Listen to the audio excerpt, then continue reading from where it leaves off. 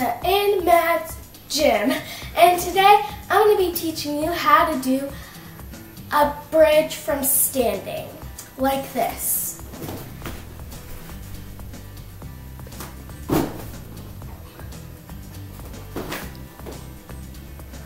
You don't have to stand back up, but that's what my coach does with me.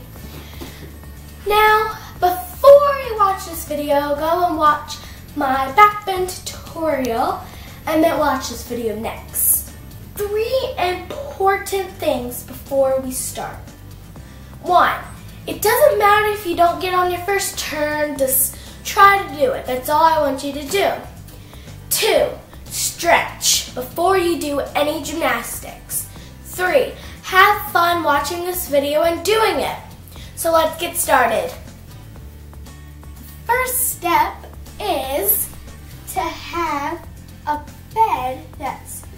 squishy and firm for the height that you can do this on. And you want it to be pretty high because we're starting off high and then we're going lower so you can have it on the floor.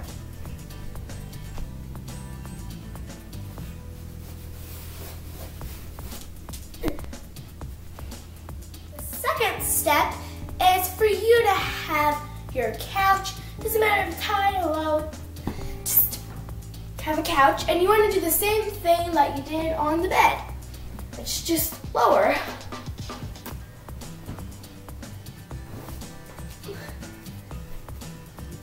The third step is I have a pillow here and you're gonna do the same thing that you did on the couch and the bed, but you're gonna put your hands right here for your head just in case you fall.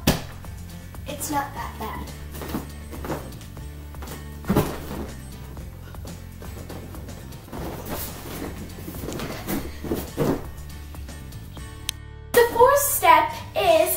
You're ready to go on the mat.